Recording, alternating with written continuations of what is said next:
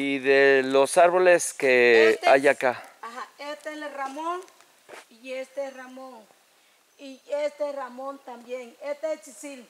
Ese es uno que tiene resina, este que está. Y este que, que está, ¿lo ves? Es el zapote que agarró de las antiguas donde hacían chicle.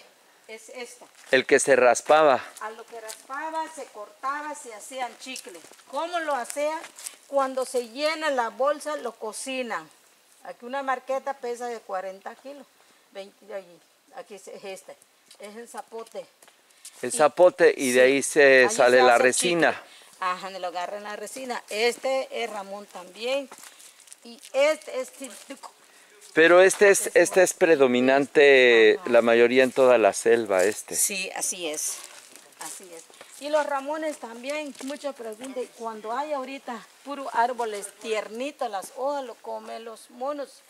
Y cuando hace la fruta, hay frutas de ramón. No simplemente que nomás el- los monos lo comen, está nosotros. ¿Cómo la hacemos? Y lo zancochamos, le agarramos la cascarita y lo molimos. Le hacemos tortilla.